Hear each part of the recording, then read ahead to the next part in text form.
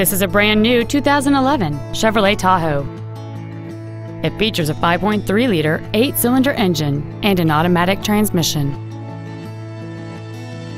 Its top features include dual power seats, heater vents for rear seat passengers, cruise control, a CD player, a leather wrapped steering wheel, a trailer hitch receiver, aluminum wheels, a low tire pressure indicator, heated side view mirrors, and an anti theft protection system. We invite you to contact us today to learn more about this vehicle. Miami Lakes Auto Mall is located at 16600 Northwest 57th Avenue in Miami Lakes. Our goal is to exceed all of your expectations to ensure that you'll return for future visits.